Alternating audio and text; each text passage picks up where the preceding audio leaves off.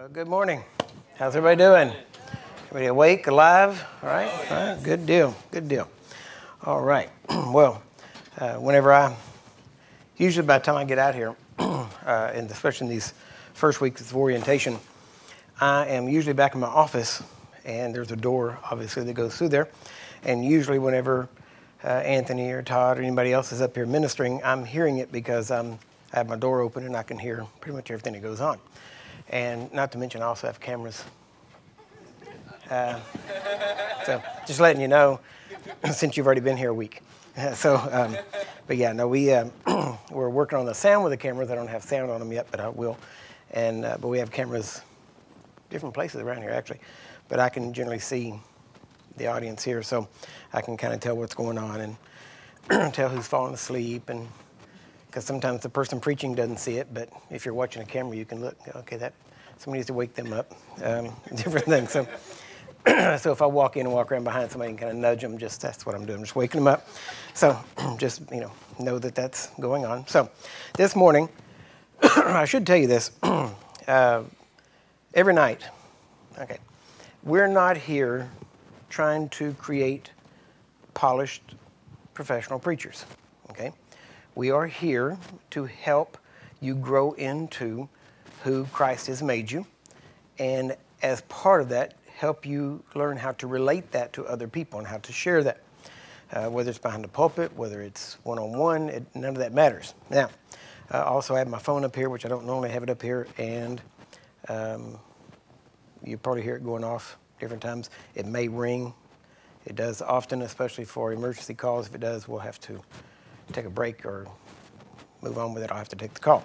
So, because I am expecting some uh, callbacks today on some situations that have been going on, and I expect them to be good testimonies, uh, but I want to be available to take it. So, also, uh, in every, I, I said the first part about uh, to so that you would know that you're not just numbers, you're not just a tuition. Uh, that's that's not who you are. Okay, we are here to pour ourselves into you. We're here to give you everything we've got to help you in any way we can. And so in the evenings, and I know the rest of the staff do the same thing, uh, but in the evenings, especially uh, when I go home, one of the things that I spend my afternoons doing is praying for you and praying for what God has for you for the next day. In other words, what I'm supposed to say the next day. God, what? Because these are not uh, typical classes yet. And so I pray and say, God, what do you want me to tell them tomorrow? And very honestly, uh, so far, I've never had to ask twice. As soon as I ask, it's right there, and it's just a matter of trying to keep up with what comes. And so uh, each one of these are that, each one of these sessions. That's why sometimes they don't always come out in a polished sermon type, which none of my stuff is hardly ever polished sermon type anyway, but um, they wouldn't either because it's not a matter of a sermon that you need. It's more like chiropractic work. It's a little adjustment here, a little adjustment there. So sometimes it seems like we're kind of all over the place, but it's because you need adjustment.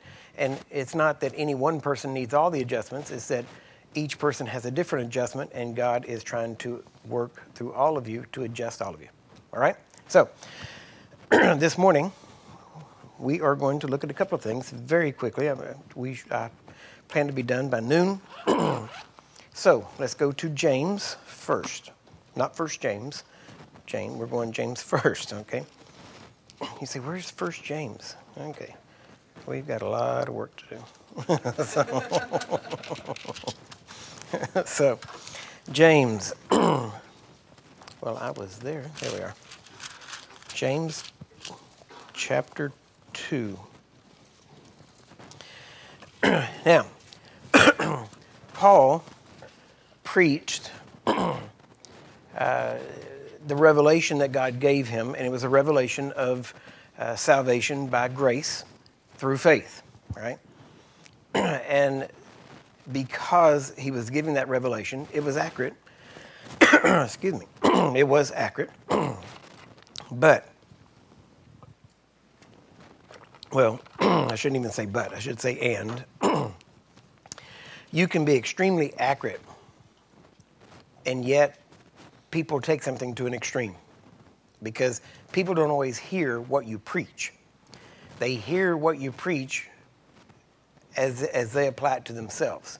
And sometimes you wouldn't even apply it to them the way they apply it to them, right? Because sometimes you can see the weaknesses whereas they can't. Now, James, what had happened was Paul had preached grace uh, accurately, correctly, and then, but there were people that heard Paul that took it in wrong directions. And James, God inspired, you have to remember this, God inspired James to write his letter not as a rebuttal against Paul, but as a rebuttal against the way people had taken Paul's teachings in a wrong direction. All right? A lot of people have a problem with with Paul, or I'm sorry, with James, and they try to say, well, he's saying the opposite of Paul. No, no, he's not. Okay? That's the key. That's the first thing you have to get uh, really settled into you. There is not one contradiction in the Bible. Okay? If, the, if there seems to be a contradiction, it's because you're not looking at either piece accurately. When you look at both pieces accurately, or even if you get a really good look at one piece accurately, then usually the other piece will start to fit in. So the key is not just quoting scripture, the key is quoting scripture in context, rightly divided. Now, we are told that the word must be rightly divided, which means that it can be wrongly divided. That's where generally we get denominations and camps and groups and that kind of stuff. Not, you know, there's some good and bad that comes out of those things. But we're going to see here today, uh, at least one portion of this, is how James rebutted the error of how Paul was being taught or received, not a rebuttal to Paul. Okay? So it will fit seamless together. So now let's look at this. James chapter 2. We're going to look first. Where do I want to go? Yep, we'll go to verse. Uh, let's see. yeah, we're going to kind of come back and forth, so that'll be all right. Um, look at verse 17. We'll just start there. And like I said, we're going to be going somewhere else and coming back here in a minute, so we'll take it all in context here. Here, James says, Even so, faith, if it has not works, is dead, being alone. Okay? now, there's this thing called epoxy. You know what epoxy is? That's two different elements that by themselves uh, do not form anything. But when you put them together, they start to harden. So the two pieces form one different thing, right? So you've got faith, you've got works. If you have only faith, that's one piece of the epoxy. If you have works, that's the other. You can have them separately and still nothing really happen, right? Still, and it wouldn't be right. But when you put those two together, then it creates a third thing, and that third thing is Christianity, right? There's people that Uh, one of the biggest, one of the biggest mistakes people have is that they think they can fix themselves. Okay, I know I heard that mentioned today too uh, in the early morning. Well, I have a, I'll just say a relative. That way it doesn't narrow it down too much because I'm an only child, so you kind of know where the relative might be if I get it too specific. But I had a relative. Uh, one time I was talking to this person. It was a male, and I was telling them how they need to get right with God, how Jesus died for them. Uh, I wasn't being, you know, hardline, uh, you know, quit your sinning and all that kind of stuff. It was more or less Jesus loves you. He doesn't want you to live this way. He has a better life for you. You know, it was, I was being really, really easy on him uh, because there was plenty of sin to, to point out, right? And basically, I just told him, you just need to get right with God. And this person's answer was real simple totally wrong, but real simple. But it's the same, it encapsulated an idea that many people have. And this person said to me, Well, you know, really, if I just quit drinking and smoking, I'd be right with God. And I, you know, automatically, you know, most of you, I don't know how much of you, how many of you have been in church very long, but if somebody says that to you, then automatically all kinds of things go off, and you're like, no, you can't make yourself right. You can't do this. You just come to Jesus. You know, that's the standard uh, Christian spiel. And it's true, it's accurate, it's right. Uh, it's not wrong to do that way. Amazingly, I didn't take that path. Okay, I took a whole other direct because my first thing to him was, you know, the biggest problem you have is not your drinking and smoking. It's your arrogance that you think that's the only imperfections you have. Right? And that didn't go over real good either. But but he did get quiet and he started to listen a little bit. And so I explained to him, I said, you know, the, the thing is not what you're doing. It's the fact that you're not right with God. Because if you were right with God, you naturally would not do these things, especially not on an ongoing basis. And so, you know, we talked quite a bit. Uh, can't really say, well, there's been some change. So uh, it, there's been some improvement. I, I'm not going to venture a judgment as to the state of his soul at this point. But so the whole point, though, is that most people think that all they have to do to get, to get right with God is stop doing some things if I just stop doing this, you know, and they see the fruit as the problem rather than the root that causes the fruit. And so we're going to talk a little bit about that today, but I just want to get that across. So first off, he says, even so faith, if it has not works, is dead being alone. Now that's just a blanket statement. Faith by itself is dead if it doesn't have works. Now, works means any energy or activity, okay, that you put forth. Uh, I'm not going to talk about dead works, live works. I'm not uh, at this point. I might get there in a minute, but I'm, I'm just saying works as a definition. Uh, ergon, it just means energy, right? It just means effort put forth. That's all it means. So it doesn't mean good or bad. Now look at verse 18. Yea, a man may say, You have faith, and I have works. Show me your faith without your works, and I will show you my faith by my works. Right? Now, notice what he said. He said, You want to show me your faith without works, which means what? How do you show faith without works? The only thing you can do is say it. Right? Really, that's the only way. You ask us if you see somebody that's not living, quote unquote, the Christian life, the only way you can know they're Christian is if they tell you. So and we know that Jesus said there's going to be plenty of people that come to him and say, Lord, Lord, didn't we do this and didn't we do that? And, and they're, they're even looking at things they say they did, but they're only saying they did them. I'm not saying they're lying. I'm just saying the only way, that, apparently, they thought that Jesus would know they did them was if they told him. So when a person has faith but no works, the only way you can know they have faith is if they tell you, right? But James is saying, I don't have to tell you I have faith. You can see my faith by my works. You can see it. Now, you can have works without faith, which isn't good, right? If you have works without faith in Christ, and we're talking about we're not talking about faith as a something you use for something. We're talking about faith in Christ. If you have faith in Christ, let's say you have works, but you don't have faith in Christ, those works will not get you to heaven, right? And we use that term general, meaning it won't make you right with God. So you have to have faith in Christ toward Christ and works that prove that. Now, that all that is is exactly what John the Baptist told uh, the Pharisees, the scribes, everybody that was coming to him. Uh, he called them brood of vipers. They were coming out to be baptized at uh, River Jordan, and he said, "You brood of vipers, who has warned you to flee from the wrath to come?" He said, "No, you go back." He said, "I'm not going to baptize you, because if I baptize you, now I am uh, validating that I agree that you're right with God." And he said, I'm not going to do that. Instead, go back and, and, and bring forth fruits of repentance. Right? So, what are fruits of repentance? See, repentance, obviously, repentance has a fruit, and it's not something that is just a, oh, I changed my mind, because that would be them coming back and going, okay, we left, we come back, we changed our mind, so we're good. Now we're really repented because we changed our mind. He said, no, bring forth fruits. In other words, let's see it in your life that you have changed. You shouldn't have to tell me you've changed. I ought to be able to see that you've changed. So we can tell you have to have faith, but there has to be, for the faith to not be dead faith, it has to have works that back up what you say you believe. Right? Now, let's look, we'll look further.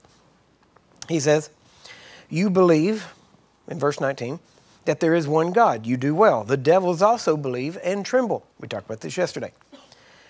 now, he says, But will you know, O, o vain man, that faith without works is dead? And then he goes into Abraham and talks about how he was um, justified not just by faith, but also by the works that he did. But now look, go back to, uh, let's see. Yeah, go back to verse 14. He says, What does it profit, my brethren, though a man say he have, hath faith and have not works? Can faith save him? This is the heart of the question right here. This is why there are entire groups of people that want to take James completely out of the Bible and say, well, we shouldn't, it wouldn't even, shouldn't even be part of the Bible. Well, that's what people always say when they don't have an answer for a doctrine that they don't like, right? He says in verse 15, if a brother or sister be naked and destitute of daily food. Now, notice it doesn't say if a brother or sister uh, not be right with God. It says if they don't have what they need to survive in this life. If they don't have food, if they're destitute. He says, And one of you say unto them, notice saying again, Depart in peace, be ye warmed and filled. Notice he said, I see that you're, you're, you're, you're uh, you know, you need, you're destitute, you need clothing, you need coats in the winter, and I see that you need food. I see that. So you, I'm blessing you, and I'm saying, be warmed and be filled. I'm, I'm speaking uh, food into your life, and I'm speaking clothing into your life. Uh, now go your way. Right? We know that's not right.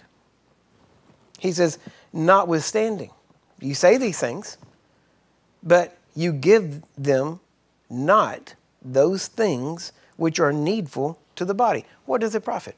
You say you have faith, but you see your brother in need and you don't do. You hear that? You say you have faith, you say a blessing, but you see a need and you don't do. Do in by the very word do means there is some energy put forth. And energy put forth is what? Works. So you can have dead works. What are dead works? Dead works are any works that you think you can do that's going to give you a better standing with God or make you right with God, right? But living works, okay? True works are works that, that you do, it's energy you put forth because you believe. Now, I'm just going to throw this in, and it's, it's a little parenthetical thing. Listen, you can, I'm just going to be real blunt. You cannot walk in love if you do not walk in power. Right? People say, well, you can't walk in power if you don't walk in love. No, you know, no, that's not true. But you cannot walk in love unless you walk in power. Why? Because if you don't walk in power, the most you'll ever you will never be able to walk in agape. All you'll be able to do is walk in sympathy. Why? Because sympathy doesn't help. Sympathy looks on and says, Oh, you poor thing. I wish there was something I could do. Agape says, Oh, you poor thing. Let me help. See the difference? Agape, and you want to talk about faith and works, faith and works, the, the bigger uh, discussion would be love and works. That's bigger than faith and works. Okay? But if you don't walk in the power to cast demons out of a person, you can't help them. So all you're going to be able to do is walk in, you can't even walk in compassion. You sure can't walk in agape. All you can walk in is sympathy because if you don't have the power to cast that devil out, all you're going to be able to do is look at him and say, That's a pitiful case. See? So you so to walk in love, to set them free, you have to walk in power and have the power to set them free. Now, there are a lot of people that walk in sympathy and think it's love. And there are people who have gone after love. You know, they, God, I just want to, uh, Joyce Meyer has a, a, good book. I'm not putting it down, okay? I'm not saying anything negative about it. She has a book called uh, Reduce Me to Love. A lot of people have taken that book and said, This is my heart's cry. Reduce me to love. Just let me love. Just give me love. Okay. Love by itself does not set people free. Okay? Okay, John 3.16. What does John 3.16 say? God so loved the world that he thought about helping people. Is that what it says? God so loved the world that he wanted people free. Does it say that? No. It says God so loved the world, what? That he gave.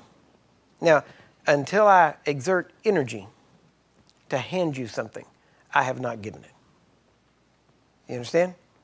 So, for God to walk in love, now He is love, but for love to be expressed, He gave. There was energy exerted. Do you get that? So without energy exerted, without work, there is no love. Right? You can say it. Oh, I love you. I love you. Yeah, really? Uh, do you know what that person's going through? I've heard some things. Okay, have you helped them? No. Then you don't love them. You sympathy them. Love has action. Without action, there is no love. God is love, and what did He do? He gave. Amen? He loved us before we loved Him. Isn't that right? So, and if you look, what was the first thing it says God did in Genesis? He, talking about the Father, Son, Holy Spirit, He moved upon the face of the deep. What did He do? Did He sit and think about creating a, a world? No. He moved. Amen? He exerted energy. So the idea that you can have faith or love without walking in power, without moving, without exerting something, without some type of movement toward the thing is totally false, and it is a convenient position for people that want to claim things and not walk in things. Right? Now, just myself, just, you know, I don't know how much you know about me or whatever else, and, you know, it's really not all important. I can tell you this I did not get into ministry for a job. That was not my idea. Um, the whole point is that I found some things. I looked for truth and I found them. And I, I, there was just automatically in me, I knew I could not keep it to myself. So I had to share it. And as I shared it, God has given us influence. And it has spread throughout the world now. And so, but we've, we have done nothing to make it happen. We've done nothing the way everybody tells us or the way other ministries, we've heard how they work and how they do things. We have done none of that, right? We've done nothing to promote ourselves or to do that kind of, we, we have not done any of it, right? So all the things they tell you you got to do, we don't, we haven't done it that way. So bottom line is this, real faith will have works, okay? It will have. Now, you could also say it another way too, because I jotted it down actually two ways. Number one, real faith has works. Number two, real faith works. Now that means that it will work for you, but it also means that it is working. Real faith is simply knowing God. The more you know it, not know about Him. A lot of uh, theologians know about God and do not know Him. And if, even if you read the life stories of people like uh, George Mueller, people like that. When he got involved in ministry, he did it because he was moving into a vocation and his father wanted to be set for life, so his father sent him to seminary because that was to get the way to get set for life. Right? And George Mueller was a thief, he was a gambler, he was a womanizer, he was a drunkard. And whenever he went to seminary, he basically wasted all of his dad's money and ended up hanging out instead of going to classes, and he started uh, gambling. And then they went on a holiday, kind of a vacation, he and his buddies that were in seminary. And he, he even with that, he was, a, a, he was able to arrange it so that the trip cost him nothing. In other words, what he did was he was the treasurer and told everybody, okay, the trip's going to cost you this much and this much, and then, and he added enough in there so he hadn't, didn't have to pay anything, and they basically paid his way right? And then they went into this place and they all hung out there on this, on this little vacation and they drank and they womanized and they did all this stuff. And when the money ran out and they couldn't pay their hotel bill, he had to climb out a window and sneak away and actually got caught and put in jail and was there for a bit until his dad got him out, right? And this is the man who learned how to believe God to feed thousands of orphans. So how you start does not matter. I don't care, does not matter. How you end is what matters. Okay? Nobody re- really remembers that much about George Mueller's early life. What they remember is orphans. He took care of orphans. Amen? So, now, so faith has works. Now, we'll probably well, we will be talking about him during the school also. Now, go with me to Yes, go with me to, uh, we're going to look at a couple places very quickly. Uh, Well, you know what? We're already in James. Might as well stay there. Go to James chapter 4. We are going to come back there anyway. James 4.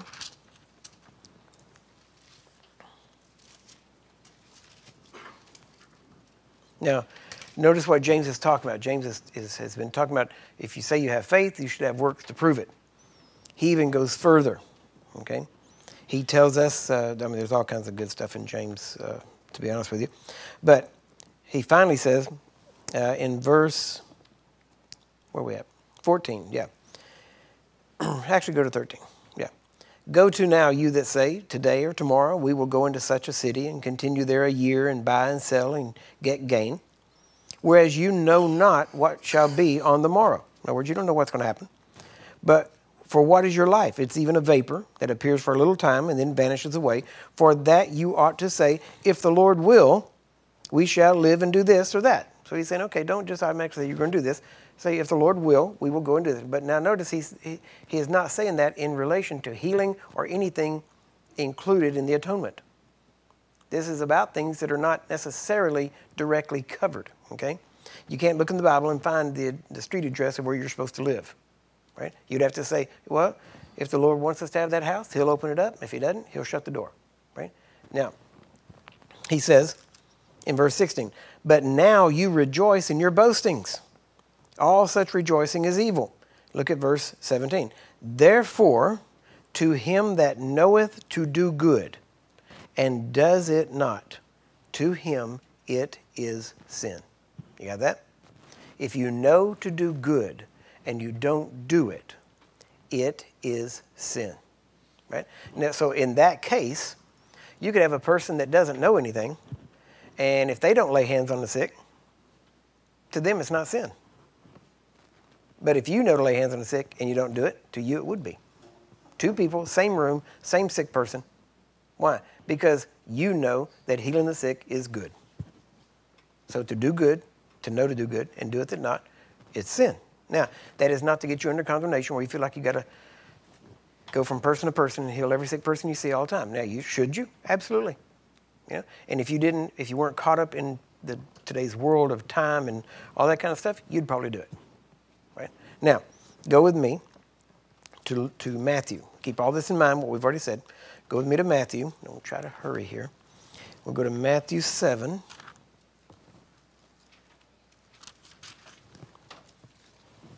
Matthew 7, verse 12.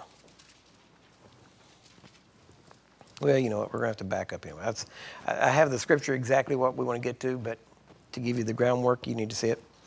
So, in verse 7, he says, Ask and it shall be given to you, seek and you shall find, knock and it shall be opened to you. Notice, if you ask, it'll be given.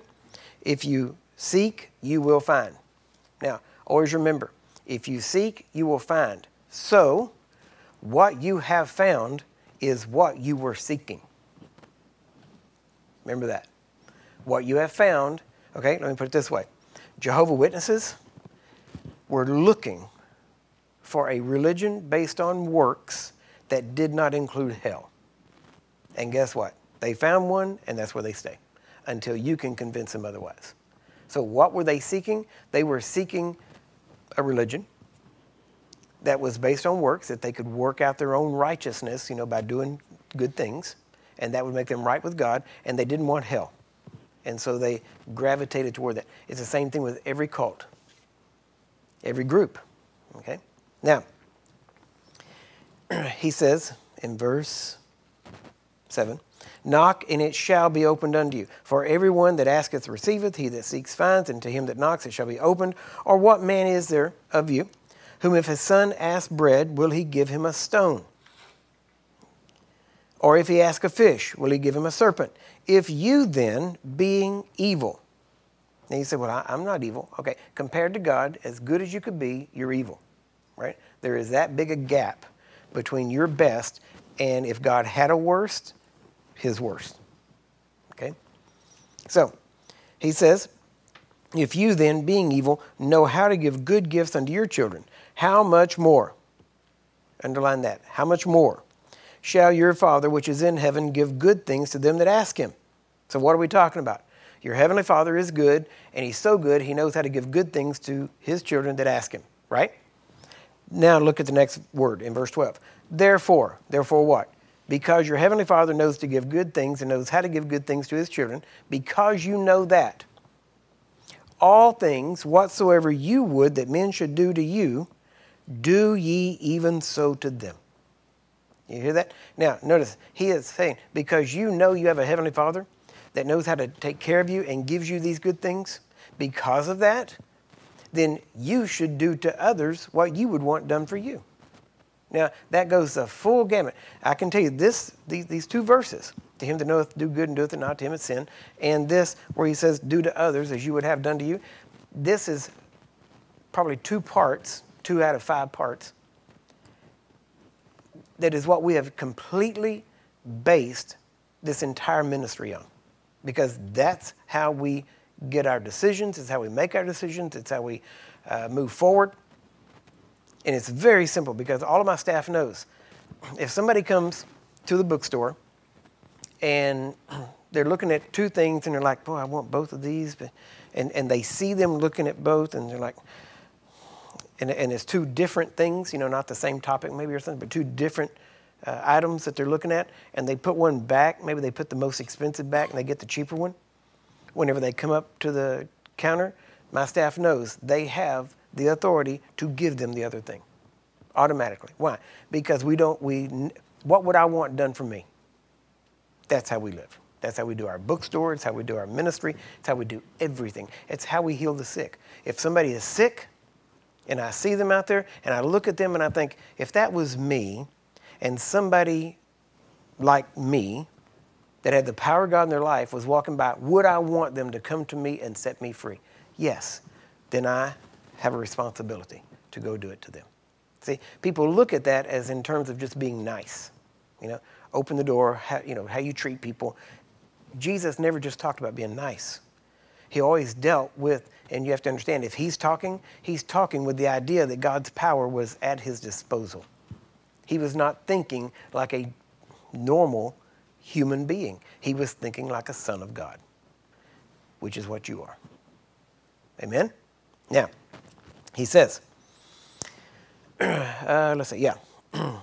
Therefore, all things whatsoever you would that men should do to you, do ye even so to them. For this is the law and the prophets. What does that mean? What did, it, what did Jesus, let me give you another example. Remember what Jesus said when they said, uh, Good master, what is the greatest commandment? What did he say? You should love the Lord your God with all your heart, mind, soul, and your strength. And then he said, Remember, he added one that the young man didn't ask him about. He said, What's the greatest commandment? He said, He didn't say, What's the top two? He said, What's the greatest commandment? He said, You love God with all your heart, mind, soul, and strength. Oh, wait, wait, don't walk off. Uh, the second is like the first, which is what? Love your neighbor as yourself. Okay? How do you do that? You do to others what you would want done for you.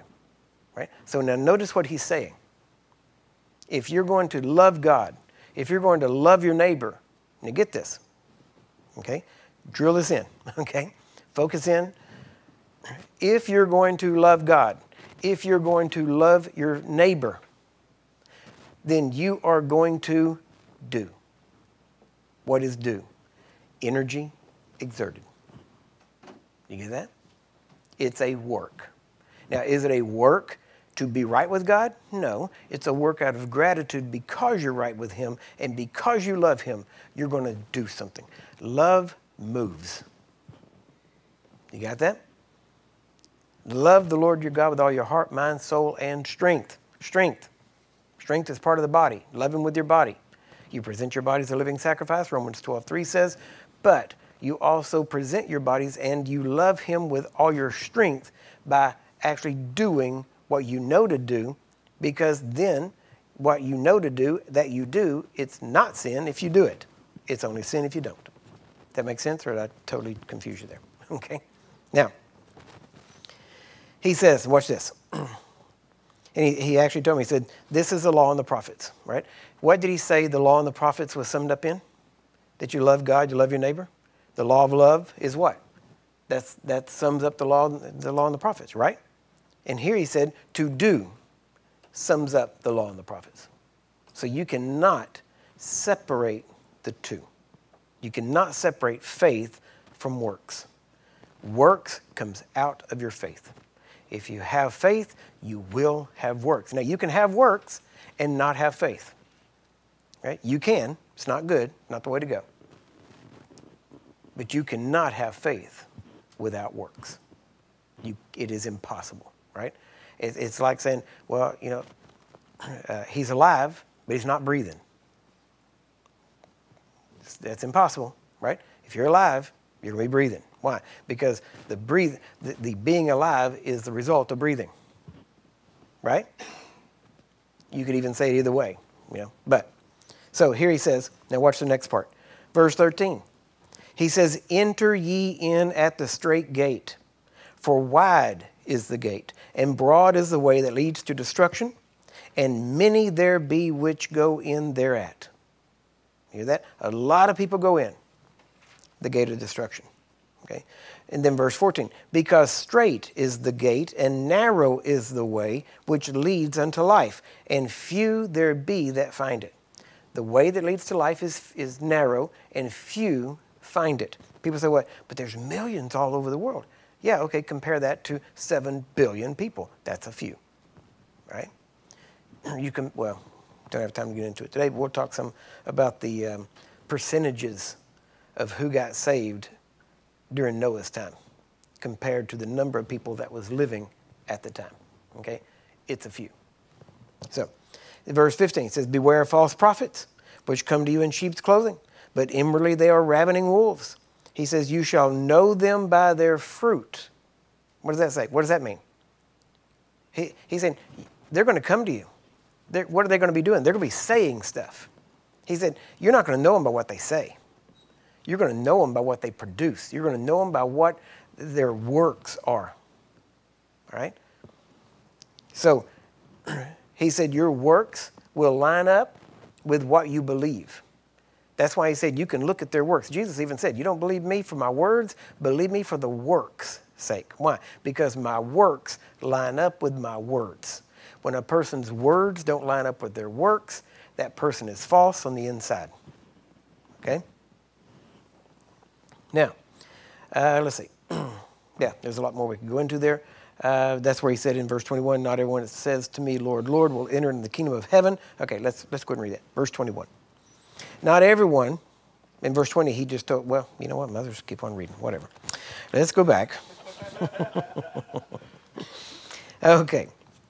He says in verse 16, You should know them by their fruits. Do men gather grapes of thorns or figs of thistles? Even so, every good tree brings forth good fruit, but a corrupt tree brings forth evil fruit. This is in red. Jesus said it. You can't get around it. A good tree cannot bring forth evil fruit, neither can a corrupt tree bring forth good fruit. See, that's where people get into this thing about, well, you know, inside, you know, you don't know my heart. No, I don't have to know your heart. I can see your heart. I see your heart by what you do. It's real simple. Every tree that brings not forth good fruit is hewn down, chopped down, and cast into the fire. Wherefore, by their fruits you shall know them.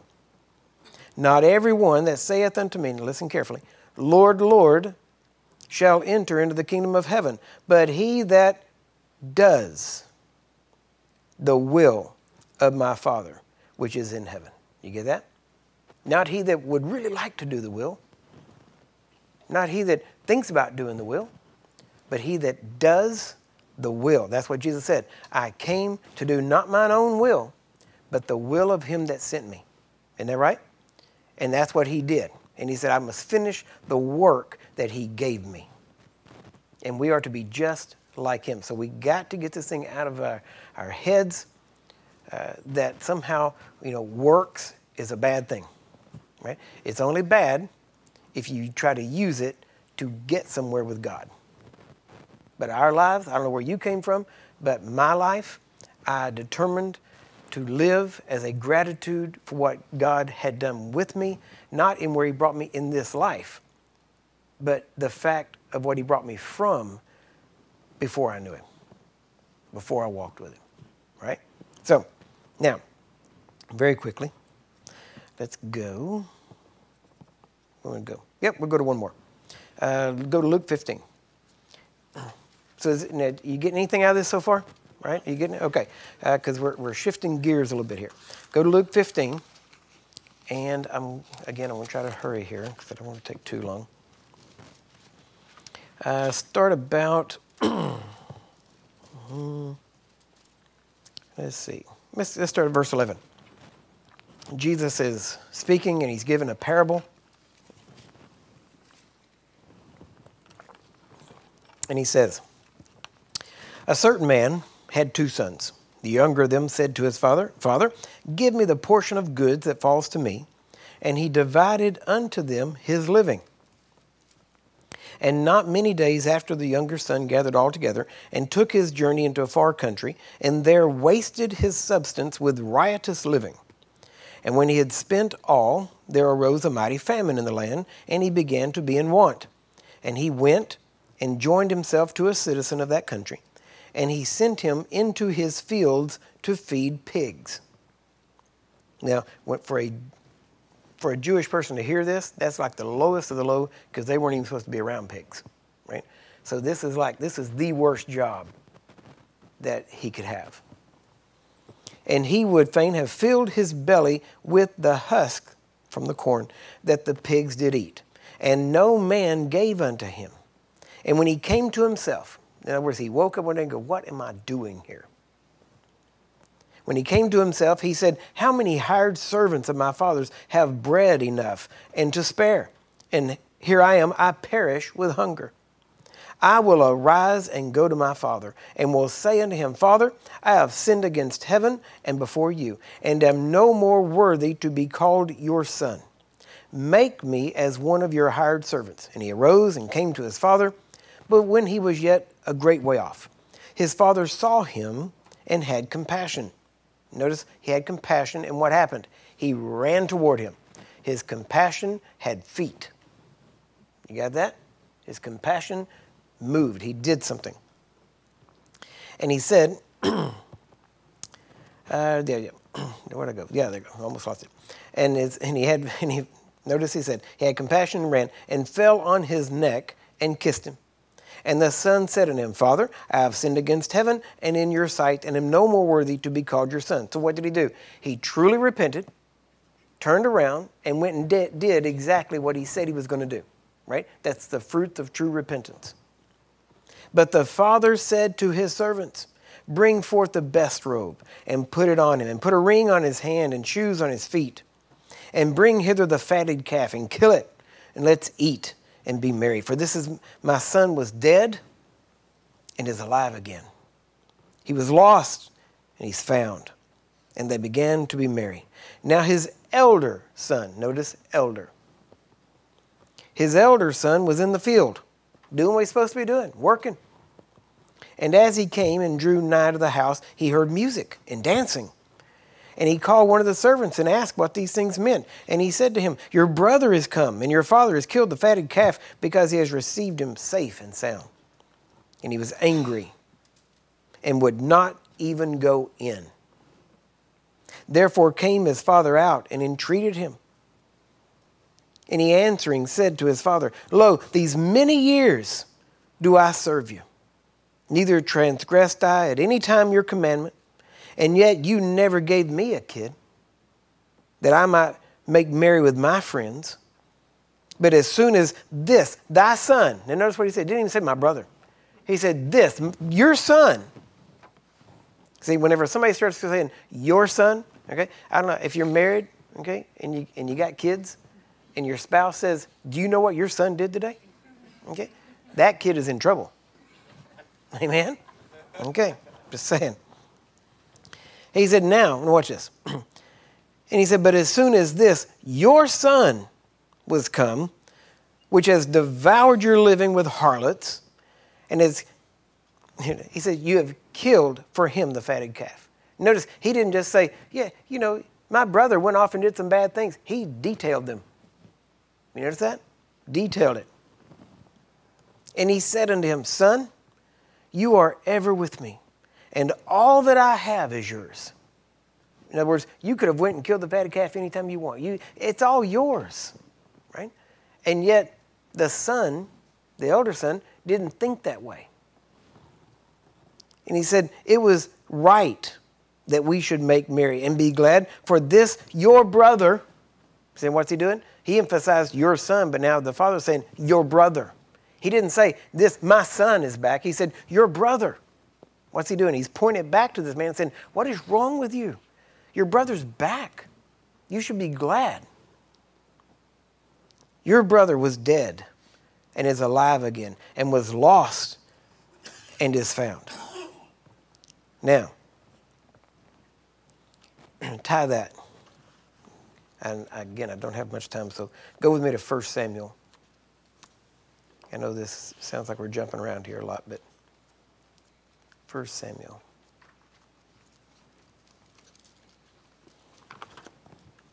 And we're going to go to chapter 16.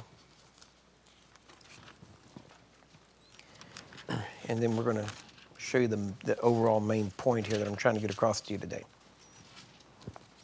In 1 Samuel chapter 16, verse 1, and the Lord said unto Samuel, How long will you mourn for Saul, seeing that I have rejected him from reigning over Israel? Fill your horn with oil and go. I will send you to Jesse the Bethlehemite, for I have provided me a king among his sons. You notice Saul was still alive but Samuel was mourning over him because God had rejected him and said, I'm not going to have him be king anymore. I'm going to pick somebody else. And Samuel was mourning over Saul, but yet Samuel still obeyed God and he took his horn of oil and he went to find him. He said, and Samuel said, How can I go? If Saul hear it, he will kill me. He's mourning over the fact, but yet he's saying, I can't, God, I can't do what you're asking me to do because if Saul finds out, he's going to kill me. And the Lord said, Take a heifer with you and say, I'm come to sacrifice to the Lord. It, he wasn't telling a lie, he really was, because they had to sacrifice to anoint the next king. And call Jesse to the sacrifice, and I will show thee what thou shalt do. And you shall anoint unto me him whom I name unto thee. And Samuel did that which the Lord spoke, and came to Bethlehem. And the elders of the town trembled at his coming, and said, Now notice this, it's amazing. They tremble at his coming. The prophet shows up, and the first thing they say is, Do you come peaceably? Think about that. Yeah. He said, Now, are you coming here to bless us? Or did we do something wrong and you're fixing to put a curse on us and we're going to have famine and our flocks are going to die and herds are going to die? What, what, why are you here? Because the prophets had the reputation of if they show up, it's either going to be really good or really bad. Right? Because there was just, they had, well, we have the same thing today. And he said peaceably. He, he answered to them peaceably. I'm come to sacrifice unto the Lord. Sanctify yourselves, separate yourselves, and come with me to the sacrifice. And he sanctified Jesse and his sons and called them to the sacrifice. And when it came to pass, when they were come, that he looked on Eliab, which was the elder son, the elder, okay, and said, Surely the Lord's anointed is before him. But the Lord said unto Samuel, Look not on his countenance or on the height of his stature, because I have refused him. For the Lord seeth not as men seeth, for man looks on the outward appearance, but the Lord looks on the heart. Now, imagine you're standing there before him, you're the elder brother, you're the one this is supposed to fall to. The prophet comes up and says, We're going to anoint a new king today, and the seven sons of, of seven out of eight of Jesse's sons are there, and they all line up, and everybody's in their finest because the prophet has come. And they're all lined up in front of him, and they're thinking, Okay, boys, which one is it going to be? Well, Eliab would have automatically thought, It's going to be me. I'm the elder. It makes sense. You know, I'm tall, apparently good looking. Everything's, I got it together. This is it. This is it, boys. This is what I've been waiting for. And then God says, This ain't him. I, have notice what he says, literally, okay? He says, Because I have refused him. I have refused. And imagine that. Imagine the Samuel, because Samuel doesn't know who it is yet. He walks up with his horn of oil and he's ready to anoint him as king. He looks at him and goes, Now the Lord's refused you. How do you think it made Eliab feel? Isn't it funny? He wasn't too concerned about his feelings. He didn't say, well, you know, we're just going to wait here a bit and see. Because, you know, I just don't want to hurt anybody's feelings. So, um, you know, but, but if it's not you, you know, then, then know that the Lord has good things for you. you know, no, he didn't do that at all. He, goes, walks up and says, yeah, the Lord's refused you. He goes the next one. And he goes down the whole list, goes through the, all, every one of them, gives their names. Okay? And I love the names of these guys. I mean, because you, it's funny when you look them up. All right? The next one here is, um, what's the name? Uh, Abinadab? Yeah. Yeah. Abinadab. Ab, Abin, Abinadab, actually, is more the way it's supposed to be pronounced. And then the last one, and when I first started reading this, I'm like, I'm just going to call him Shamu. Know, here's Shamu, okay? But, and he said, Neither has the Lord chosen this. And he went by all seven, and the Lord has not chosen these. So he stands back and goes, Nope, it's none of you. He said, But I know God sent me here, told me to call you. So is this all your, all your sons? And what did Jesse say? Well, well, no. Well, wait a minute. Didn't he say, Call all your sons together? And yet they didn't even call David. And Jesse said, Well, I, have got another son, but he's just a lad and he's out there and he's taking care of some sheep. And, and, you know, he's out there. And so, know, we didn't even call him in. They didn't even consider him in the running. And yet that was the one God chose. Amen? And there was a song years ago, and you should always, if you, you ought to look it up, find it. It probably sounds out of date now, but it's the message is awesome. And it's very simply this When others see a shepherd boy, God may see a king. You need to remember that. Don't worry about what other people think about you because they may be seeing the shepherd boy, but God sees a king in you. So don't worry about what other people think. Only concern yourself with what God thinks about you. And that doesn't mean don't take counsel. It doesn't mean be arrogant about it. It's just saying don't let other people put you down till you'll never amount to anything. You amount to Jesus because that's what you're called to. All right?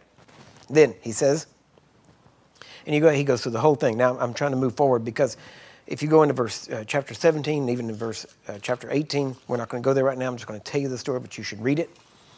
Uh, there come a point where we all know the story because in chapter 17, uh, David goes out, and, and actually what happens is all of the, the, the elder sons, all of these older brothers of David, they all go to the battle, to the war between the Israelites and the Philistines. And they go out there, and now they've been out there for like 40 days, and, they, and the battle is at a stalemate, and they got their lines drawn. And it's funny because all the Israelites are hiding behind these uh, their line, their battle lines, and every day about the same time, this giant Goliath comes out, who had five brothers, and he comes out and mocks Israel, and then finally, and, and all the all of David's brothers are there. They're all in the army. They're not fighting. They're not winning. They're not being good soldiers. They're hiding behind whatever they're using as defenses. And then Jesse, David didn't even get to go to the battle. He had to stay home and watch the sheep. And Jesse one day says, Listen, take some cheese, take some milk, take some food, some bread and stuff, take it all over to your brothers and let's see how they're doing. I want to, and when you come back, come back. He said, Bring me a pledge back. That means come back and let me know how they're doing.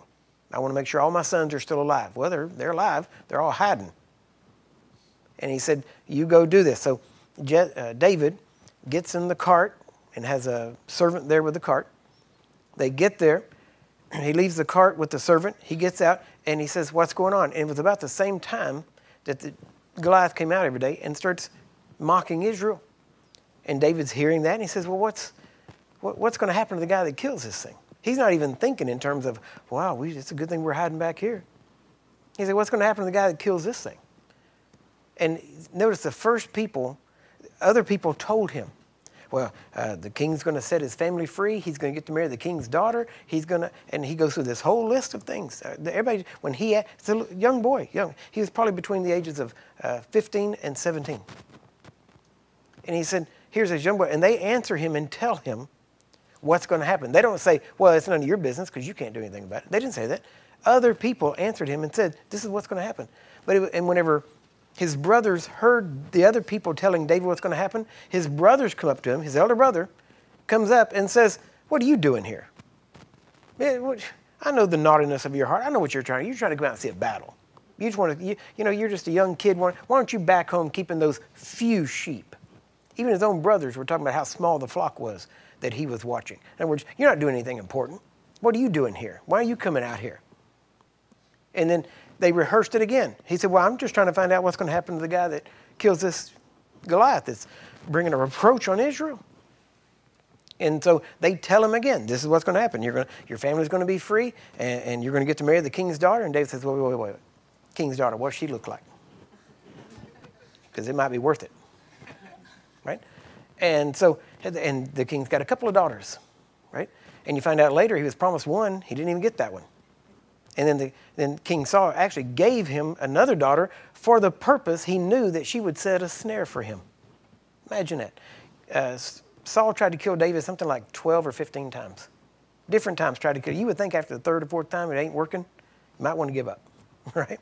But the amazing thing about this is this it was always the elder brothers that did not encourage. The elder brothers were always one saying, Oh, you just want to be somebody. Oh, you just want to step, up. you just want to be seen. I know why you're here. So remember, don't be surprised when your elder brothers and sisters in the church tell you the same thing. Who do you think you are? What makes you think you can do this? You ain't no Benny Hinn. You ain't no John Lake. You ain't no. Don't, don't be surprised when they say that stuff. And tell them, no, you're exactly right. I'm an original. God made me an original. And I'm, if I am a copy, I'm a copy of Jesus Christ. So I'm not Benny Hinn. I'm not John Lake. I'm not Smith Wigglesworth. They're gone. Benny Hinn didn't. Okay? Let me retract that, okay? But this is our time. Amen? This is your time. God knew when to get you here. This is your time. Now, the key about this is very simple.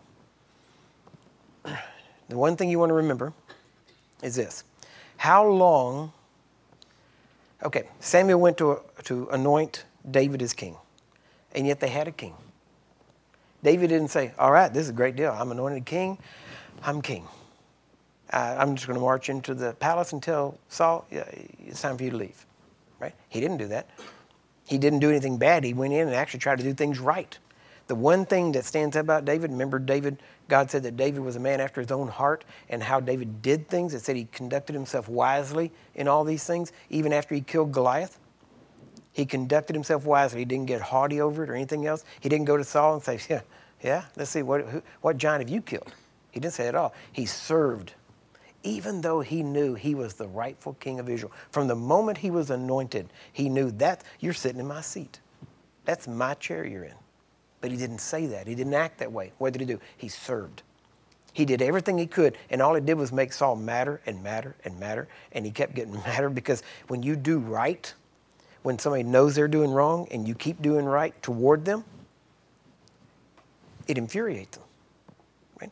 And so, but the beauty of it is this, and this is the one thing, well, one of many things, that David understood that the church today needs to get a hold of. David understood the difference between positional and experiential.